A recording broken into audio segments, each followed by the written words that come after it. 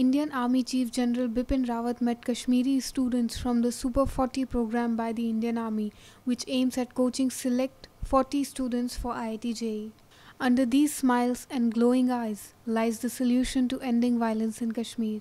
These glorious children were chosen to be coached by the Indian Army's Super 40 initiative, which has been successful and are going to join the Indian Institute of Technology.